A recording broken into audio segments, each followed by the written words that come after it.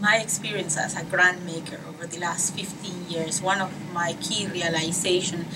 has been to understand the difference between investing in individuals and investing in communities. And when working with indigenous people,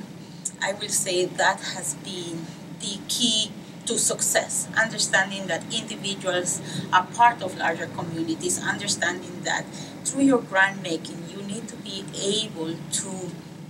benefit not only or benefit and impact not only the life of that individual person, that individual man or woman or child, but